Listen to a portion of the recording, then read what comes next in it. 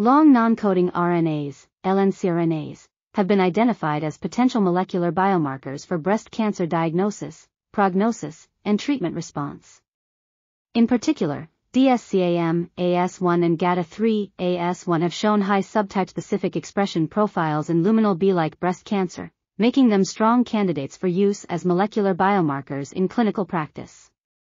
Despite the promise of LNCRNAs as biomarkers, there are limitations in sample size and lack of understanding of their biological functions, which hinder their inclusion as clinically useful molecular biomarkers. Nonetheless, given their expression specificity across different diseases and their stability in body fluids, LNCRNAs are promising molecular biomarkers with potential applications in improving the accuracy, sensitivity, and specificity of existing molecular techniques used in clinical diagnosis.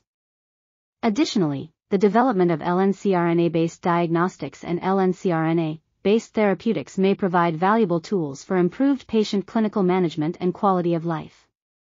This article was authored by Cristian Arriaga Canon, Laura Contreras Espinosa, Sergio Aguilar Villanueva, and others. We are RTCL.TV, links in the description below.